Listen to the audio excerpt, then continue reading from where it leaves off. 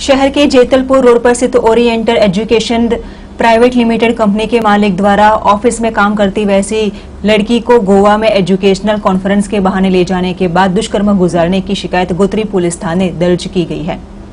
मिली जानकारी के आधार पर ओरिएंट एजुकेशन कंपनी के मालिक द्वारा ऑफ़िस में काम करती वैसी लड़की के साथ गोवा में कॉन्फ्रेंस के बहाने ले जाने के बाद तीन दिनों तक दुष्कर्म गुजारने की शिकायत दर्ज करवाई गई है।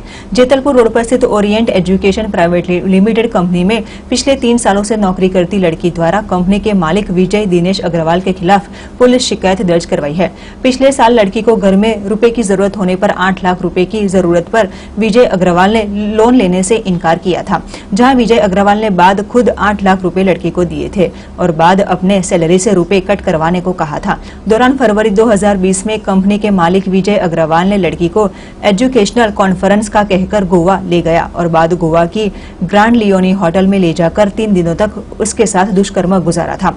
बाद लड़की ने नौकरी छोड़ देने के बाद कंपनी में मालिक वैसे विजय अग्रवाल ने बार बार अपने बाकी रुपए की मांग करते हुए उसके साथ शारीरिक रिश्ता रखने का दबाव और धमकियां दी जाती थी जिससे तंग आकर आखिरकार पीड़िता लड़की ने गोत्री पुलिस थाने विजय अग्रवाल के खिलाफ शिकायत दर्ज करवाते हुए पुलिस ने कंपनी का संचालक वैसा विजय अग्रवाल की गिरफ्तारी कर सघन कार्यवाही जारी की है અ, ગોત્રી પોલીસ સ્ટેશનની અંદર એક અ, બેને આવીને એક રજૂઆત કરેલી કે એ અ, બે ત્રણ વર્ષ પહેલાં ઓરિયન્ટ એજ્યુકેશન પ્રાઇવેટ લિમિટેડ નામની અહીં સંસ્થા ચાલે છે. એની અંદર નોકરી માટે ગયેલી અને ત્યાંના જે માલિક છે, ડાયરેક્ટર વિજયભાઈ, એમણે એને ત્યાં આગળ ઇન્ટરવ્યૂ લઈને નોકરીએ રાખેલી. આ ભોગ બનનાર બેન જે છે, એ ત્યાં આગળ કાઉન્સિલર તરીકે નોકરીમાં જોડાયેલી. નોકરી દરમિયાન ફ્રેન્ડલી એટમોસ્ફિયર મળતા આ ડાયરેક્ટરના ટચમાં આવેલી. એ દરમિયાન એક એજ્યુકેશનલ ટૂરના નામે ગોવા જવાની વાત થયેલી અને ત્યારે આ ડાયરેક્ટરે જે ભોગ છે એ બેનને ગોવા આવવું પડશે એવું જણાવેલું અને એ રીતે આ ભોગ બનનાર અને આરોપી ગોવા ગયેલા.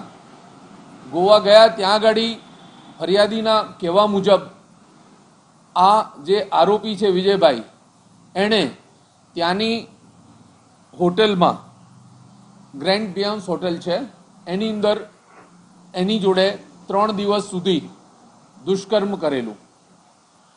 અહીંયા આગળ બીજી એક વાત એવી પણ છે કે આ જે ભોગ બનનાર બેન છે, એને પૈસાની જરૂર હતી ત્યારે આ જે ડાયરેક્ટર છે, એમણે એને આઠ લાખ રૂપિયાની મદદ કરેલી હતી. આઠ લાખ રૂપિયા પૈકી ત્રણ લાખ રૂપિયા આ બેને પરત આપેલા અને બાકીના પાંચ લાખ રૂપિયાની ઉઘરાણી આ જે ડાયરેક્ટર છે, આરોપી વિજયભાઈ, એ કરતા હતા. અને એ દરમિયાનમાં આ ગોવાનો પણ બનાવ બનેલો. ગોવાથી પરત આવ્યા બાદ, લોકડાઉન પહેલાં પહેલાં આ બેને આ નોકરી છોડી દીધેલી. આ જે આરોપી છે, એણે એના બાકી રહેતા પાંચ લાખ રૂપિયાની માગણી ચાલુ રાખેલી. એ દરમિયાનમાં આ ભોગ બનનારે એને કીધેલું કે જે ગોવામાં તે કર્યું એ મારી જોડે સારું નથી કર્યું. અને આટલો સમય સુધી સમાજની બીકે આ બેને ફરિયાદ નહોતી આપી. અને હવે જ્યારે પાંચ લાખની ઉઘરાણી વધુ પડતી ચાલુ થઈ અને એ બાબતે એને ડરાવવા ધમકાવવામાં આવી ત્યારે આ બેને પોતાની ફરિયાદ આપેલી છે. આ ફરિયાદના કામે આરોપીને કસ્ટડીમાં લેવામાં આવેલો છે. એનો કોવિડ ટેસ્ટ થયેલો છે. વધુ તપાસ ગોત્રી પીઆઈ શ્રી ચૌધરી સાહેબ કરી રહ્યા છે.